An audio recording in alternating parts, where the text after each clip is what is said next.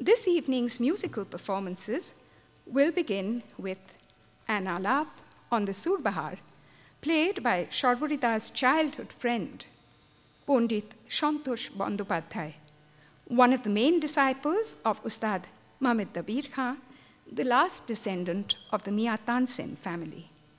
I would now request Sharbarida's sons, Shogato and Shodhob, to please escort Santoshda to the stage and felicitate him. Incidentally, Shogato has been a disciple of Santoshda for more than 15 years.